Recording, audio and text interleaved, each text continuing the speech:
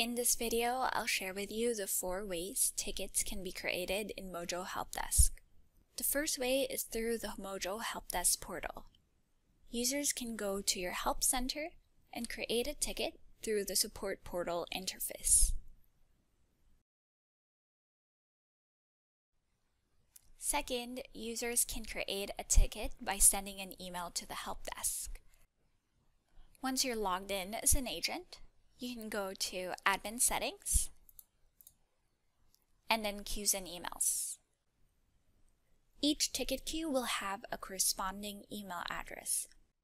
If you already have an existing email address that you want to use, then you can set up email forwarding in your email client.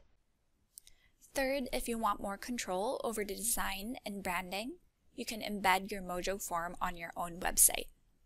To get the embed code, we'll go to Admin Settings, and then Ticket Forms.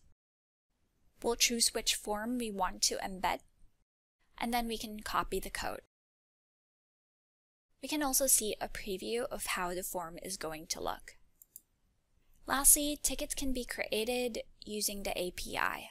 You can find our API documentation by going to our knowledge base, clicking on the settings cog again, and then help using Mojo, you'll find our documentation for the API. For any questions, please visit help.mojohelpdesk.com and open a ticket with us.